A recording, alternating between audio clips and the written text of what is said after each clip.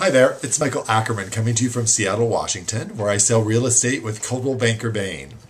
Today I'd like to talk a little bit to all of you buyers out there that are starting to look for a home. And this is something that comes up a lot um, when I have my initial interview with buyers before we even start to go out and look. I explain the process, I explain that they really should get pre-approved for their loan in the first place. And more often than not, a line that you'll hear as an agent or a broker is, oh, financing won't be a problem.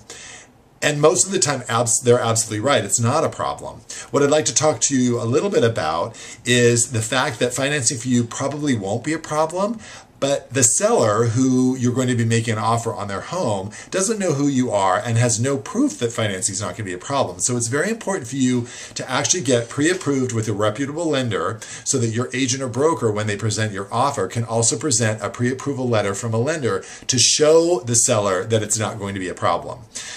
Financing has gotten a little bit tricky in the last couple years. The uh, lending institutions, which used to be, or used to have a lot wider guidelines, have really gotten a lot more strict. So a buyer who has a great credit score, good down payment, um, you know, good history with credit, used to be able to easily get a loan, and for a lot of them, you still can, but there's a lot more documentation and a lot more hoops to jump through nowadays. So when buyers say, oh, financing won't be a problem, it sometimes is a problem now. So for your own sake as a buyer, you probably want to go through that step first. Talk to a lender, get pre-qualified, which means they can let you know based on your debt to income ratio how much you can afford let them know how much you're comfortable affording. A lot of people don't want to max out, you know, the amount that they could uh, qualify for. They just actually have a number that might be a little bit less than that. And then go ahead and send in all your paperwork and get approved for your loan.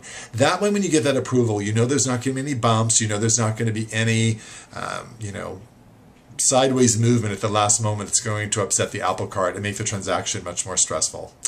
If you have any other questions about financing or real estate in general, feel free to email me at Michael Ackerman at cbbain.com.